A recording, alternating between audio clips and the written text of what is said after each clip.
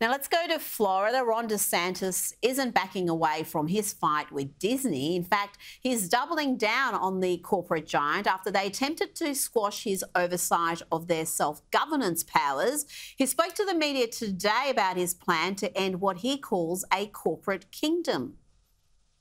Uh, there is a bill uh, that will be put out in the Florida legislature uh, that will make sure that the agreements purported to be entered into by Disney uh, are revoked. We made the decision as a state, as a people, through the medium of our elections, uh, that we would not have one corporation uh, serving as its own government. Uh, that's not good government.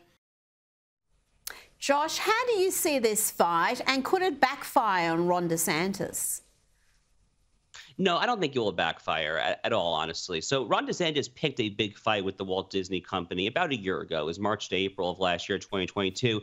And, you know, it's been a while, so we should probably refresh the audience why he picked this fight in the first place. So the Walt Disney Company became mm. very outspoken against the state of Florida's parental rights and education bill. Now, that bill signed into law would prohibit the teaching of sexual identity, gender identity, sexual orientation themes from kindergarten through third grade. So, in a, put another way, in, in, the people who opposed this law said that kindergarten teachers, first, second, and third grade teachers should be talking about the birds and the bees, and and, and you know, how Harry, can become Sally, that sort of stuff in a classroom.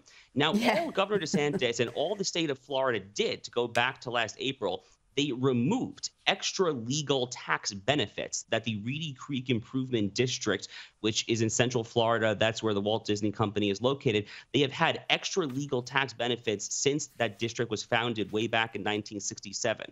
So he really kind of just made Walt Disney on an even playing field with every other company in the state of Florida. They were treated very unequally, they had massive corporate welfare. So Florida is going to win this fight.